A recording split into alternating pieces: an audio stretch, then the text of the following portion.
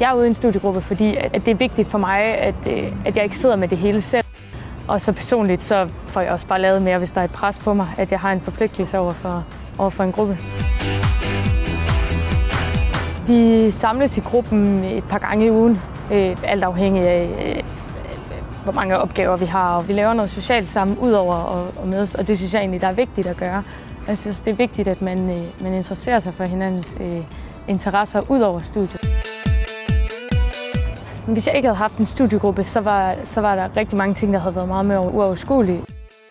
Der var rigtig mange ting, jeg skulle have lavet selv, og, og også hvis der er noget, man er i tvivl om, så, så ville det være rigtig problematisk ikke at have nogen at spørge, og ikke at, ikke at have den der base, man ved, at man lige kan gå til og diskutere ting med.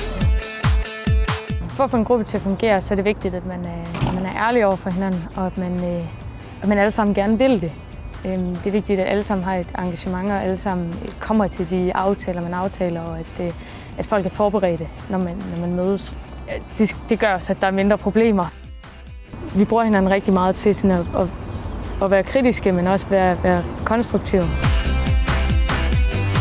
Find en studiegruppe, hvor der er nogle forskelligheder i. Øhm, det behøver ikke nødvendigvis være ens allerbedste venner, man går i studiegruppen med, men bare nogen, man kan fungere med, og, og hvor der er lidt dynamik og lidt, øh, det er fedt, at man kan noget forskelligt, og at man har nogle forskellige interesser.